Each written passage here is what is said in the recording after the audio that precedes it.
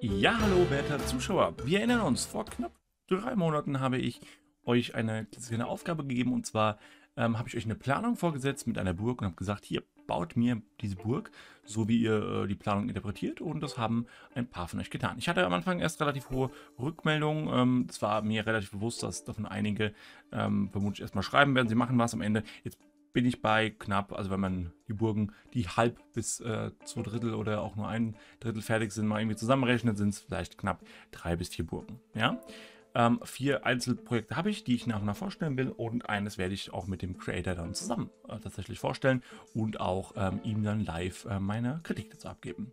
Kommen wir zur Kritik, da will ich auch wie immer ein, zwei Sätze zu sagen. Die Leute wussten, dass ich danach mir die Burg angucken werde. Die Leute haben mir die Burg deshalb auch eingeschickt, dass ich mir sie danach angucken werde.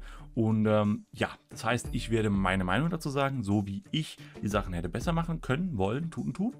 Und ähm, entsprechend das auch aus meiner subjektiven Sichtweise sehen. Wenn ihr das eh ähnlich seht, das ist schön für euch. Wenn ihr es anders seht, können wir gerne darüber auch vielleicht ein bisschen sprechen oder auch nicht. Über Geschmack lässt es bekanntlich ja nicht streiten.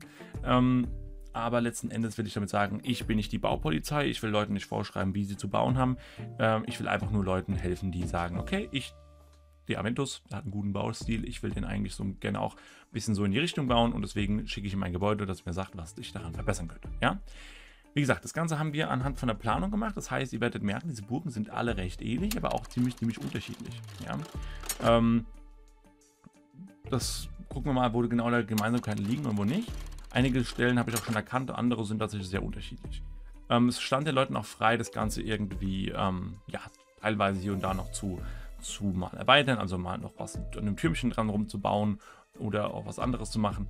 Ähm, das stand den Leuten frei. Das ist eine der Burgen, die, äh, die ich extra für Conquest Reforged gemacht habe, deshalb hier auch keine, ähm, ja, keine Landschaftsgestaltung rundherum ist. Das wäre natürlich sehr, sehr schön gewesen. Ähm, müssen wir natürlich hier jetzt logischerweise darauf äh, verzichten. Ja? Ähm, Im Großen und Ganzen hat die einige sehr, sehr äh, schöne Elemente. Was wir bei den Burgen alle sehr, sehr schnell sehen, ist, die meisten haben versucht, irgendwie mit hellen Varianten zu arbeiten. Also das ist nicht die erste, wo wir sehr, sehr viele helle Steine sehen werden. Am hauptsächlich fertigstesten ist diese Wand hier. Ja, die ist natürlich wesentlich fertiger als die anderen. Und ähm, ich weiß, es gibt keine Steigerung von fertig, aber ihr wisst, was ich meine. Ähm, und die ist eigentlich auch äh, ziemlich cool. Ich mag den großen Schornstein in der Mitte, muss ich ganz ehrlich gestehen. Der gefällt mir richtig, richtig gut. Ja. Ähm, und ich mag eigentlich auch so die Module an für sich. Ja. Schön ist, dass hier unten wieder ein bisschen solider, ein bisschen massiver wird. Auch diese, dieser Übergang mit diesen äh, Elementen hier seitlich ist an und für sich soweit in Ordnung. Und auch die Module sind an und für sich soweit äh, in Ordnung. Was ist das für ein... Okay, das sind diese ein Pflasterstein, okay, ist auch spannend. Ja, natürlich könnte man sich jetzt gerade in Konkursivforge über die Materialauswahl natürlich immer ein bisschen streiten, aber das ist, ähm, ist nun mal dem geschuldet, dass es eben so viele Blöcke eben gibt. Ja? Ähm, Jo, soweit gefällt mir das also soweit äh, ganz gut. Hier unten haben wir irgendwie noch so ein bisschen Wolle drin. Ich weiß nicht, ob das. Also, beziehungsweise, nee, das ist Limestone und äh, Light Gray Concrete. Okay, spannend. Ähm, ich finde diese. Ich finde diese Steinwand unterhalb des Turms oder unterhalb der Türme die sind in Ordnung prinzipiell, weil sie so eine etwas verputztere äh, Stelle geben, aber ich hätte das eher umgedreht. Ich hätte diese, diese, diese glattere Wand, die wir hier haben, eher nach oben gezogen und dann diese rauere, aus Stein gebauten Wände hätte ich nach unten gesetzt, damit wir eben einen schöneren Übergang von dem glatten hier zu dem glatten hier oben haben. Ja, prinzipiell fehlt mir hier auch so ein bisschen, äh, es ist halt eine weiße Wand, das ist soweit in Ordnung, aber ich hätte irgendwie mir einen Abschluss von, hier oben gewünscht, dass man irgendwie hier oben, ne, prinzipiell über den, das Übergang zum Dach ist soweit okay, aber irgendwie da einen Übergang zu haben, wäre an und für sich äh, schon ziemlich schön. Äh, das Dach ist natürlich auch nicht fertig, muss natürlich zu vielen Stellen sagen. Das Dach hier beispielsweise sieht eigentlich an und für sich ganz äh, gut aus. Hat natürlich jetzt noch so ein bisschen einen Bauch in der Mitte hier. Das würde man normalerweise, wenn man es mit Treppen und Slaps und sowas abrundet, würde man das äh, verbessert kriegen. Liegt jetzt einfach daran, dass es halt ähm, aus Grund meiner Planung, die ich halt vorgegeben habe, so übernommen wurde. Ja. Ähm, genau. Dann äh, das Dach hier, das sieht gut aus. Das gefällt mir von der Form her ganz gut. Ja, das hat einen schönen ähm, Aufbau. Und dann auch hier ist das eigentlich so an und für sich ganz, ganz niedlich gemacht hier mit diesem Aufbau drin. Natürlich müsste man unter dem Dach immer noch irgendwas machen. Ja, das ist auch immer relativ wichtig. Ähm, dann hier diese Fahne, die stört mich sehr, sehr. Die Fahne, die ist, äh, die ist sehr, sehr massiv.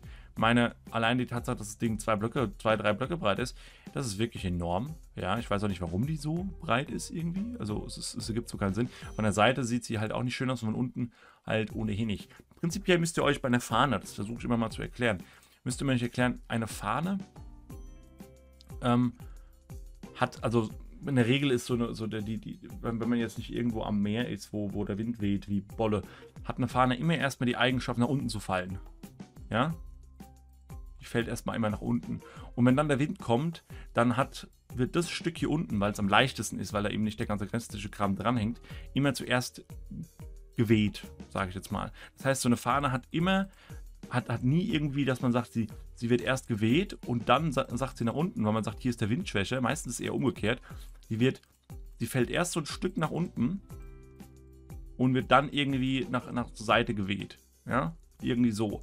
Oder manchmal vielleicht sogar auch irgendwie, dass man dann sagt, ja, am Anfang ist es noch ein bisschen, bisschen tiefer der Abfall, weil es eben schwerer ist hier und dann gegen Ende hin wird es dann so ein bisschen, so ein bisschen äh, leichter vom, vom, vom Flow her. Aber wisst ihr, also wenn ihr das einfach mal vergleicht, wenn man mal guckt, das ist so eine Fahnenrichtung, so eine, das, das so die Kurve, die, die das, diese Orangenlinie macht, die, die kommt so einer Fahne wesentlich näher. Und da muss man natürlich gucken, dass man die halt wirklich aus maximal einem, einem Block Breite baut. Ja, man kann äh, Conquest sogar halbe Blöcke nehmen. Das funktioniert hier, wie man sieht, ja ganz gut. Ähm, ist übrigens ein Mod, Conquest Freefall. Guckt einfach mal unten in die Beschreibung. Da habe ich es hab wahrscheinlich verlinkt. Wenn nicht, einfach nochmal unten schreiben, wenn ihr Fragen dazu habt. Oder einfach googeln. Ja, Google hilft. Conquest Reforged.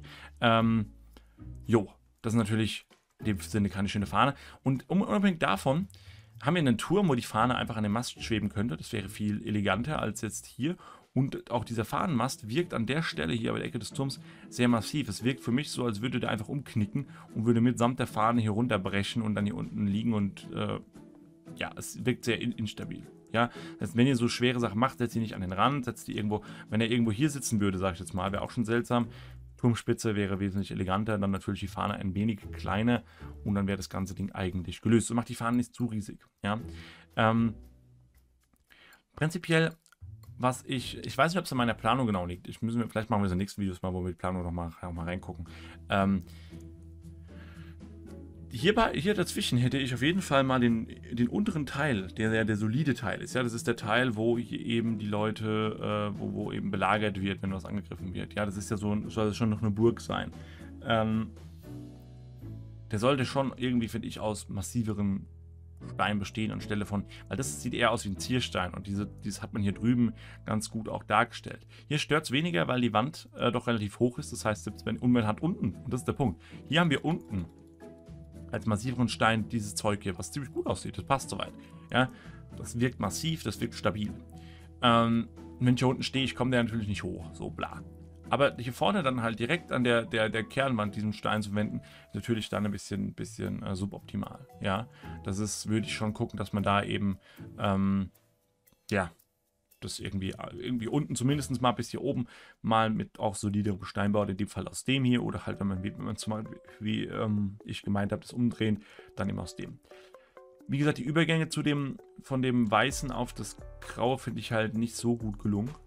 Ja, da hätte man gegebenenfalls nämlich halt auch, ähm, ähnlich wie den hier, vielleicht nehmen können, hätte den irgendwie hier mit einbauen können, um, um hier einen Übergang zwischen eben diesen beiden Elementen zu, äh, zu, hinzukriegen. Ja? Vielleicht irgendwie das Ganze ein wenig ähm, anders einzubauen, wäre da vielleicht die schönere Variante gewesen. Irgendwie zu gucken, dass man da einen, einen Übergang schafft, der ein bisschen, bisschen sauberer ist. Man hätte das dann auch irgendwie vielleicht irgendwie anders bauen können, dass es nicht eben einfach nur so ein, so ein aufgesetzter Punkt ist, weil das Ding ist, nicht nur ist dieses Ding einfach nur so aufgesetzt, es ist auch farblich halt ein krasser Kontrast, ja.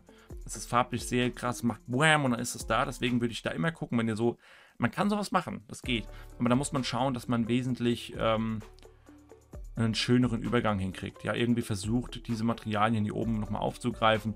Ja, oder wenn man so Linien trennt, dass man sie wirklich sehr, sehr klar trennt. Dadurch, dass diese, dass diese ähm, Streifen sehr, sehr, also ne, diese, diese Elemente hier, die reichen sehr, sehr weit in das, in das äh, Gebäude hinunter und geben dann hier so ein Zickzack-Ding. Ne, so rein, raus, rein, raus hier.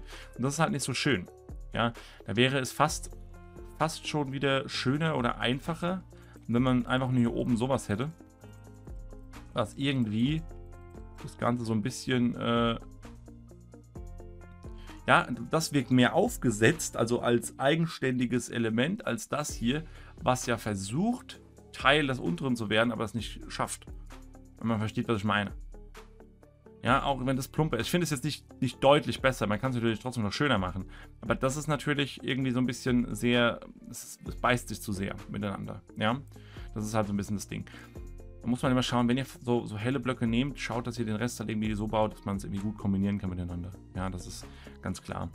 Ähm, jo, ich finde hier das Holz ganz schwierig. Auch eine Sache, die ich seltsam finde, ist beispielsweise diese, diese Idee hier eine Baustelle reinzubauen. Prinzipiell kann man sowas natürlich machen. Ähm, finde auch so eine Idee eigentlich ganz cool. Aber hier beispielsweise, und das finde ich ganz spannend, sind die Steine, die hier, ja, wir haben ganz klar diese, diese Kobbel, Steinziegel, was ich was, Mauern. Warum ist das Torhaus denn nicht aus den gleichen Steinen? Ja, warum ist das Torhaus nicht aus denselben Steinen? Warum ist der Turm hier nicht aus den Steinen? Ähm, das sehen wir bei anderen Dingen auch oft. Ich habe den Turm oft, und das ist der Punkt, ich hatte in meinem Video gesagt, und das wollte ich mal so ein bisschen testen, wie, wie gut das funktioniert, in meinem Video gesagt, lass die Farben mal Farben sein. Ja? Ähm, und ich muss mal schauen, wie das, wie gesagt, wir hätten vielleicht die Originalplan nochmal gucken, wir in nächsten Videos machen wir das, aber da ist es so, dass wir sehr, sehr oft, ähm, man merkt, den Turm hier habe ich in einer Farbe geplant, also wurde er auch in einer Farbe umgesetzt. Gleiches gilt für den hier, den habe ich auch bis runter geplant.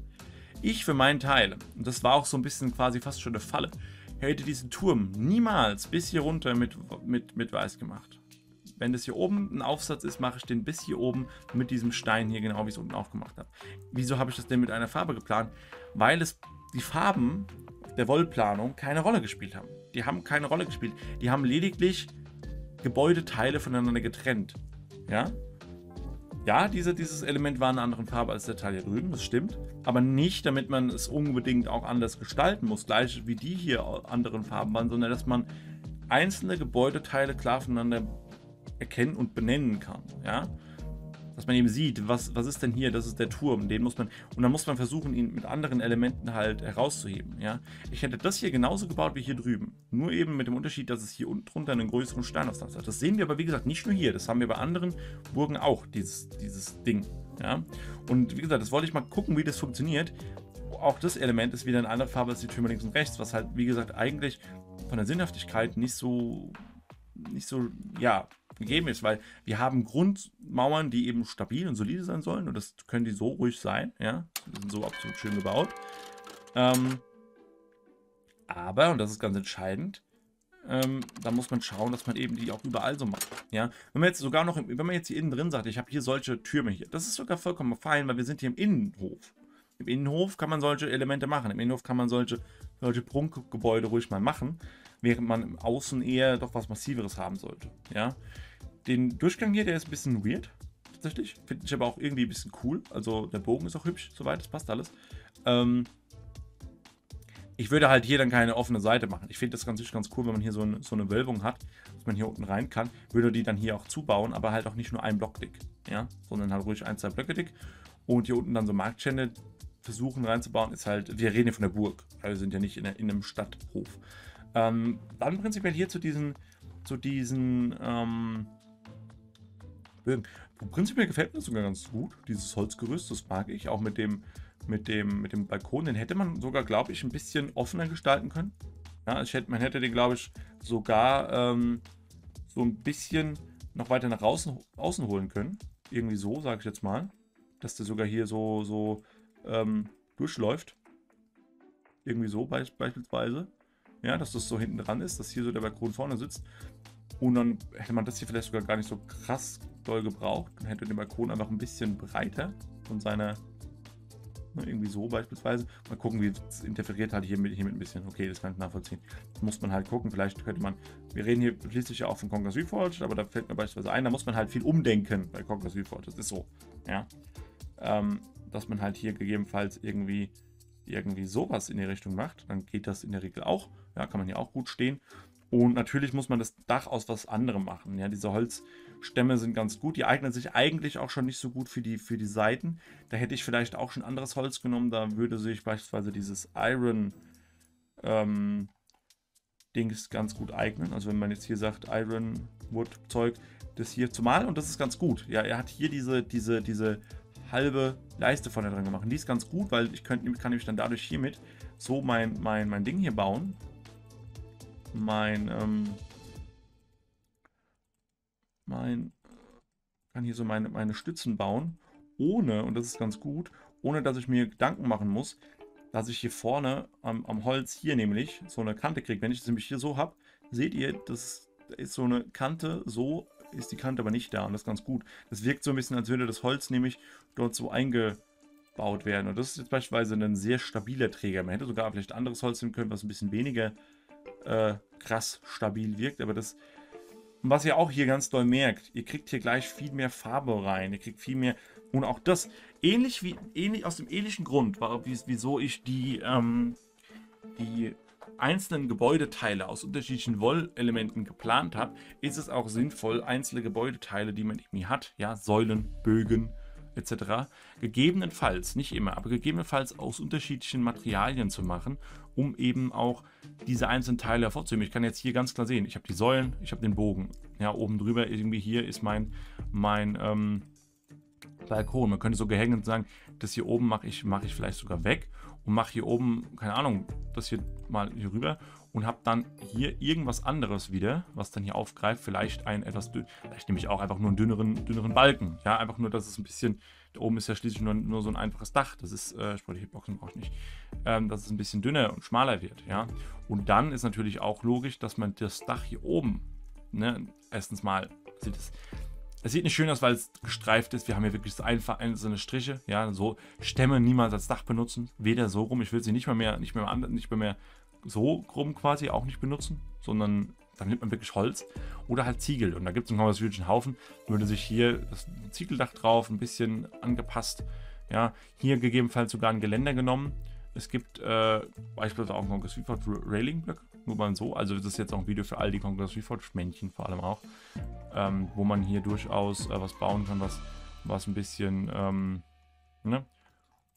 Stil hat, sag ich jetzt mal. Man kann auch genauso gut, könnte man auch diese Elemente hier weiter rausbauen. Könnte dann auch, wenn man jetzt nicht Conquest Reforged Männchen ist, und könnte hier dann vielleicht sogar irgendwie sowas in die Richtung bauen. Ja, mit dann irgendwie ein, zwei Elementen hier dazwischen. Irgendwie sowas vielleicht. Mal schauen, ob das dann will oder nicht. Und könnte dann sogar hergehen und könnte hier vorne andocken und es dann hier oben mit irgendwie mit dem, mit dem Dach irgendwie so verknüpfen. Das würde auch gehen, anstatt anstelle hier unten das zu machen. Ja, ähm, natürlich aus anderen Materialien, aber ihr wisst, denke ich mal, was ich meine. Also man kann da halt viel mehr machen, ähm, weil ich die Idee eigentlich ganz schön finde, hier vorne so einen Balkon oder so einen Arkadengang oder wie auch immer ihr es nennen wollt, halt laufen zu lassen, finde ich eine sehr, sehr schöne Sache. Der Brunnen beispielsweise hat auch ein sehr, sehr massives Dach. Ja, im Prinzip kann man so einen Brunnen machen. Ich würde ihn halt mit wesentlich äh, kleinerem, schmaleren Dach bauen und nicht dann so einen First auf einen ganzen Block dick enden lassen. Ja, da hätte dann das Slab durchaus gereicht. Das ist schon sehr, sehr... Es wirkt... Das Ding ist, so ein Balkenblock wirkt halt immer sehr schwer und sehr groß. Wenn ihr das halt aufs Dach packt, wirkt es eben immer sehr, als würde das das Dach sehr stark belasten, weil es, immer, weil es eben sehr schwer und sehr groß wirkt. Das ist halt natürlich ein Problem. Ja. Das muss man immer sehen. Solche Ränder übrigens hier an was ranzumachen, das ist vollkommen legitim. Das kann man machen. Muss nur gucken, dass man es an richtigen Stellen macht. Aber das ist immer mal eine ganz schöne Variante und Idee, um ähm, so Türme ein wenig zu unterteilen und die Wände ein bisschen aufzulockern. Was ihr natürlich auch immer machen könnt, ist so ein bisschen einfach eure Turmwand ein bisschen strukturieren. Das geht gerade vor allem im unteren Bereich. Wenn ihr irgendwie sagt, ihr habt hier irgendwie euren, euren Turm, der dann irgendwie so ein bisschen so ein bisschen hier den ein oder andere Stelle hat, wo dann eben so ein bisschen ähm, wir sagen oft, uns im Bauteam auch immer so ein bisschen spöttisch, äh, Geröll ja, davor liegt irgendwie. Aber wenn man so ein bisschen was hat, dass irgendwie so die Turmwand so ein bisschen ähm, ausstattet, das geht in Vanilla auch ganz gut, wenn ein bisschen ein Kobbel, ein paar Slabs, ein paar Treppen. Ja, also wenn ich jetzt einfach mal nach Kobbel suche und einfach mal hier so ein bisschen Zeug nehme, könnt ihr das natürlich in Vanilla auch ganz gut mit, mit sowas hier ein bisschen machen. Einfach da, hier und da ein bisschen, vielleicht noch eine, eine Kobbel, ich kann ja so machen, eine Kobbelwall hier irgendwo dagegen äh, genommen, ne?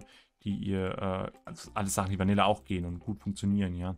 Das so ein bisschen äh, unten, unteren Bereich macht, dass man eben, Türme waren oft auch ein bisschen breiter, unten sind so ein bisschen nach oben gegangen, weil man sie eben ein bisschen unten hochgemauert hat. Das kann man ruhig machen, selbst, und selbst wenn nicht. Eine Sache, die ich immer versuche, Leuten zu erklären, egal was ihr baut in Minecraft, sei es Fachwerkhäuser oder seien es, egal was. Ihr müsst euch bis zu, ihr müsst bis zu einem gewissen Grad oder an gewissen Stellen, es geht oft gar nicht um die, um die Theorie dahinter, sondern um die Praxis. Ja, wenn ihr denkt, Fachwerkhäuser beispielsweise, wie die gebaut wurden, ihr könnt es in Minecraft nicht eins zu eins umsetzen. Das ist faktisch einfach nicht möglich, ohne dass es scheiße am Ende aussieht. Oder ihr den Maßstab erhöht. Das ist immer die andere Sache. Wenn ihr den Maßstab hochdreht, ist in Minecraft eigentlich fast alles möglich. Was ich euch nur sagen will, ist, ganz wichtig, versucht, versucht nie es exakt so zu machen, wie es in der echt ist, sondern versucht nur die gleiche Wirkung zu erzielen. Wir werden feststellen, viele Sachen, die wir bauen, bauen wir nicht genauso, wie sie in der Realität sind, sondern wir bauen sie nur so, dass die gleiche, das gleiche Gefühl, die gleiche Idee dahinter entsteht. Also wenn man anguckt, man weiß, was gemeint ist. Egal welches Fachwerkhaus ihr bei uns auf der Map sehen werdet, ist nicht so gebaut, wie irgendein Fachwerkhaus, das auf dieser Welt existiert. Man schaut das Gebäude aber an, denkt an das Fachwerkhaus und kriegt sofort das Gefühl von, ah cool, guck mal, ein Fachwerkhaus. Und das ist viel wichtiger, als tatsächlich exakt nachzuahmen, wie Fachwerkhäuser in der Realität wirklich ausgesehen haben. In meinen Augen zumindest. Ja?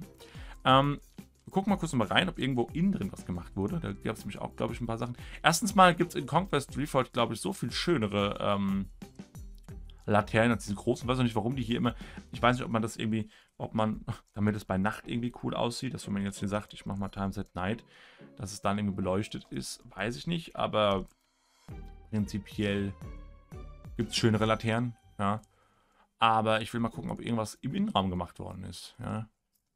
Hier irgendwie, aber ich glaube, da ist, glaube ich, nicht gemacht worden. Doch, hier hinten, nee, das gehört hier nur dazu. Nö. Also außer so ein bisschen Marktstand, der auch ein bisschen, lasst ruhig, wenn ihr so sowas baut, hier lasst ruhig mal auch mal einen Tisch ein bisschen frei, ja, macht nicht überall so Kisten hin, lasst mal ein bisschen, ein bisschen Platz und stellt mal was anderes hin oder wie auch immer. Ansonsten passt es natürlich mit so einem Stuhlhocker, wenn man jetzt mal ab, absieht, dass es bei der Burg ist. Ja, die Baustelle, wie gesagt, versteht, ist halt so ein bisschen, hm, ja, das ist halt ein bisschen seltsam, warum bei so, so, einer Burg, die jetzt so hier steht, wie sie da steht, eine Baustelle sein sollte. Kann natürlich immer sagen, ah, ja, da waren... Aber wisst ihr, das ist so ein bisschen...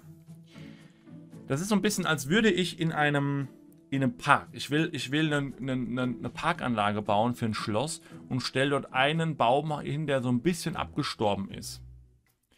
Mit der Begründung, ja, das ist halt ein Baum, der ist jetzt erst abgestorben, der steht halt noch da. Das kann man machen. Das kann man durchaus machen und kann sagen, ja, das ist so, das spielt die Realität wieder. Das kann ja sein, dass hier was kaputt ist, hier wird was gebaut, wie auch immer.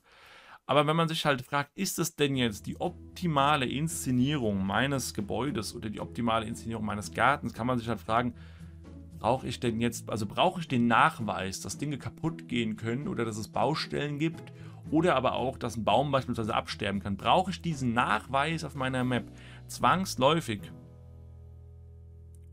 bei diesem Baum in diesem Prunkgarten.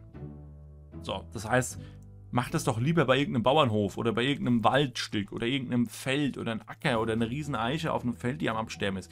Irgendwie sowas. Aber nicht bei einem Prunkgarten. Ähnlich würde ich es hier sehen, wenn ihr so Baustellen baut. Ja, jetzt natürlich ist es jetzt ein Einzelprojekt, keine große Map, aber wenn ihr so Baustellen baut, entweder eine gesamte Burg, das ist cool, das ist schwer, aber cool, oder aber, und das ist die ganz andere Sache, oder ihr macht halt, ähm, also dass die, so eine Baustelle, selbst wenn die jetzt richtig gut umgesetzt worden ist, passt ja dennoch nicht zur restlichen Inszenierung der Burg. Das ist ja, ne, wenn, ihr, wenn, ihr, wenn ihr einen Film drehen würdet, die Burg ist der Protagonist, sagt ja auch nicht, ja, da noch eine Baustelle hin, einfach weil. Das, das passt nicht. Ne, da muss immer ein bisschen gucken, passt das, passt nicht. Wenn jetzt hier die Burg überall noch nicht fertig ist, die Tür, also das eine Gesamtbaustelle ist, okay, dann ist das was anderes. Aber wenn man jetzt über die bestmögliche Inszenierung dieser Einzelburg hier spricht, ja, dann ist eine Baustelle komisch. Wenn ihr jetzt eine Burg habt, die komplett belagert wurde und ihr habt überall habt ihr Schäden, ihr habt eingebrochene Dächer und abgebrannte Türme und da ist dann eine Baustelle. Okay, dann habt ihr aber wieder eine Gesamtinszenierung, die in sich geschlossen wieder sinnvoll ist. Versteht ihr, was ich meine? Das ist wirklich, wirklich wichtig. Ansonsten, wie gesagt, dadurch, dass die Burg nicht so weit ist, kann ich nicht allzu viel zu sagen. Das ist prinzipiell hier in Ordnung. Ja, da kann man jetzt wenige dagegen haben. Das ist halt ein ganz normaler Turm mit ganz normalen Fassaden. Die Turmrundungen entsprechend sind oben eigentlich auch okay. Ja, ich würde sowas übrigens immer lieber nach innen setzen, glaube ich, als nach außen.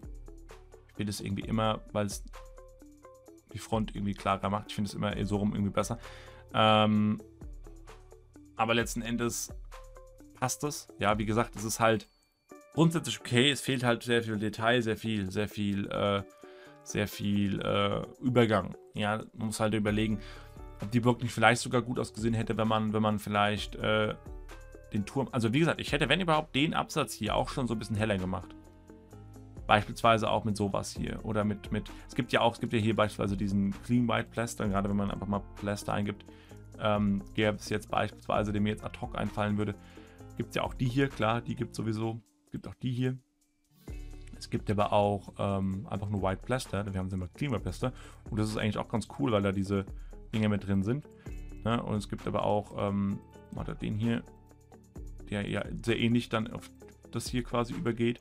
Oder halt auch einfach das hier. Ja, das sind so Elemente, die man unten drunter hätte benutzen können, um halt einen schöneren Übergang zu schaffen. Weil mit den, mit den Bricks, von, von den Bricks auf die Bricks hier dann zu gehen, die man unten verwendet hat, und von den weißen Bricks auf das helle oben zu gehen, ist halt ein wesentlich schönerer und äh, smoother Übergang. Ne? Aber ansonsten, ich weiß gar nicht, hier ist vielleicht noch was eingerichtet. Boah, da ist was drin, oder? Das sieht, aha, hier ist was drin. Okay, erstmal haben wir ein spannendes Gebälk oben an der Decke, das ist spannend. Ach, okay, hier unten, okay, das ist nur Okay. Das ist auch ein bisschen seltsam, warum wir eine Schmiede haben mit einem offenen... Okay, da weiß ich nicht so ganz, wo es hingehen soll, die Reise von diesem Teil hier, muss ich gestehen. Und dann weiß ich gar nicht, ob das so... Ich weiß gar nicht genau, wie ich es geplant habe. Ich meine, manche Gebäude habe ich, glaube ich, sogar manche nicht mit den Doppelwänden. Das ist so typisches, ich rammel mal Kisten in die Bude. Macht sowas bitte nicht. Ja, also wenn ihr Kisten stapelt und lagert, dann macht das bitte mit Stil. Erstens mal so Kohle, dann erst, also erstens, ja, wenn ihr sowas macht, diese großen Laternen, die hier rumstehen. Wow, warum sind da so viele Laternen? Oh. Packt schwere Sachen nach unten. Das hier sind Kohle, Körbe mit Kohle. Die stehen unten. Da steht vielleicht mal einer in zweiter Reihe, aber eher unten. Die sind groß, die sind schwer. Ja, packt Kisten um drüber. Und ihr könnt mir jetzt kommen mit, ja, das ist ja also, hier, das alles, man muss es ja nicht alles so genau nehmen. Ihr könnt mir jetzt glauben oder auch nicht. Sowas sieht man. Ihr, ihr, seht es, ihr seht es nicht bewusst. niemand geht hin und sagt, ah, guck mal da, die Kohle steht in der zweiten Reihe, das, das hätte, das viel, warum stehen die schweren Sachen nicht unten? Die Das sagt keiner. Niemand wird es bewusst wahrnehmen. Aber euer Unterbewusstsein kriegt sowas mit und das macht eben am Ende den Unterschied aus, ob ihr ein Gebäude oder eine Map gebaut habt, die eben authentisch wirkt oder eben auch nicht. Es ist schwierig immer auf diese ganzen Einzelheiten zu achten, aber genau das wollen wir hier jetzt einfach mal tun. Ja. Hier verstehe ich nicht so ganz den, den, die Dark Oak Loks im, im Boden. Das schließt sich mir nicht so hundertprozentig. Ja. Aber okay. Was ich auf jeden Fall da drüben noch, ah, lass mich raus, lass mich raus. Äh, was ich drüben auf jeden Fall noch sagen will. Die Schmiede an und für sich beispielsweise geht. Ja, auch was, da steht ja so ein Milchkrug rum. Das ist halt, und man muss mal ganz ehrlich sagen, das ist ein klassisches Beispiel, ohne da jetzt jemanden nahe treten wollen, ein klassisches Beispiel von Leuten, die behaupten, Conquer Seaforged hilft es, leichte Sachen zu bauen. Weil das hier, letzten Endes steht hier einfach nur mehr Zeug wahllos rum als sonst. Es ist die gleiche, gleiche Wahllosigkeit, die hier herrscht. Ähm, nur, dass es halt äh, mehr Zeug gibt, das man wahllos hinstellen kann. Ja.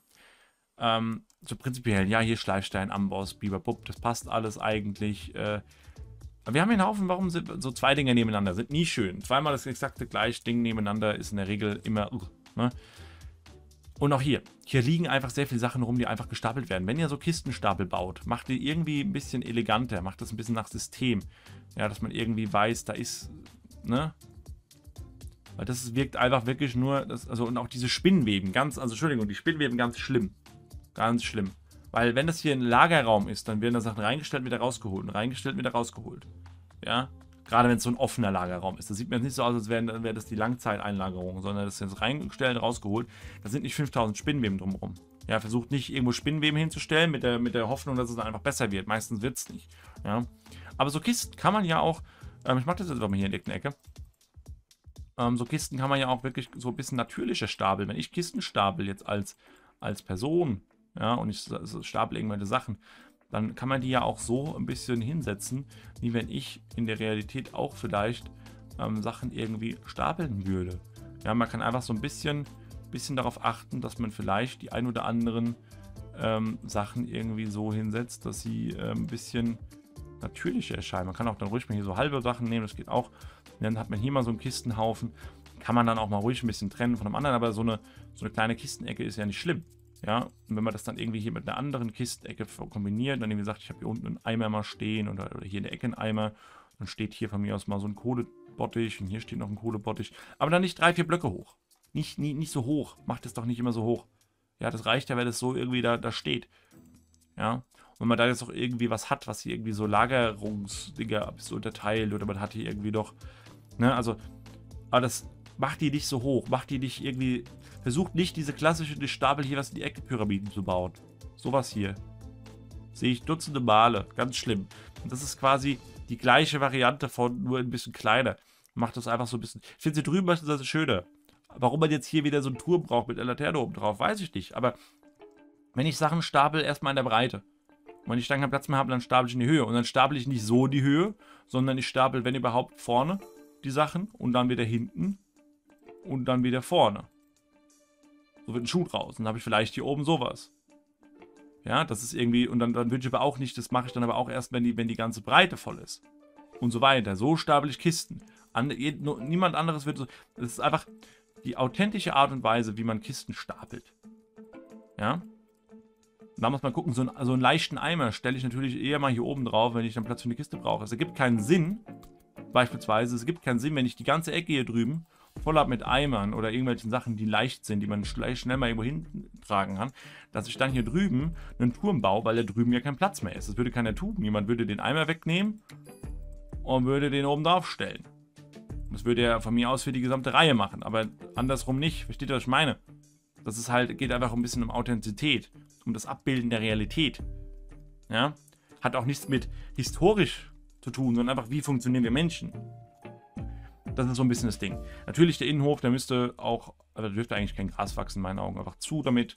Ja, aber wie gesagt, die Burg ist ja auch lange, lange, lange nicht fertig. Ich habe, glaube ich, wieder hier aus Versehen die Dinge aktiviert. Ist lange, lange nicht fertig, ich weiß. Und ähm, dennoch, finde ich, kann man ein bisschen was mitnehmen. Jetzt die erste aus dieser ganzen Reihe. Wie gesagt, drei weitere Folgen noch. Ich weiß nicht, die kommen immer mal wieder. Ja, das sind ja hier längere Videos. Immer mal peu à peu kommt eine und am Ende kommt dann die mit ähm, dem Kollegen, dem ich die dann aufnehmen werde.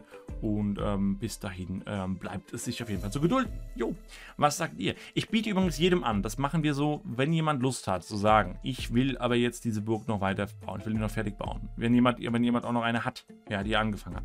Ihr könnt alle diese Burg auch unabhängig von diesem Projekt noch fertigstellen, mir schicken. Und auch die Leute, die ich jetzt hier schon gezeigt habe, können das gerne machen. Können ihre Sachen, auch die, die ich jetzt kritisiert habe, gerne ausbessern, verbessern. Und ähm, können die mir nochmal schicken und ich gucke sie mir gerne auch nochmal an. Ja. Das ist äh, sehr völlig selbstverständlich. Und ähm, jo, da würde ich sagen, ich bedanke mich ganz herzlich für eure Aufmerksamkeit. Ich bedanke mich ganz herzlich für die Einsendung dieses, äh, jo, dieses Objektes. Und ansonsten bedanke ich mich auch ganz herzlich noch bei Putzhilfe für die Kanalmitgliedschaft. Ähm, vielen Dank dafür. Und jo, wir sehen uns dann im nächsten Video oder auch Stream wieder. Ich sage Tschüss, bis dahin und ciao.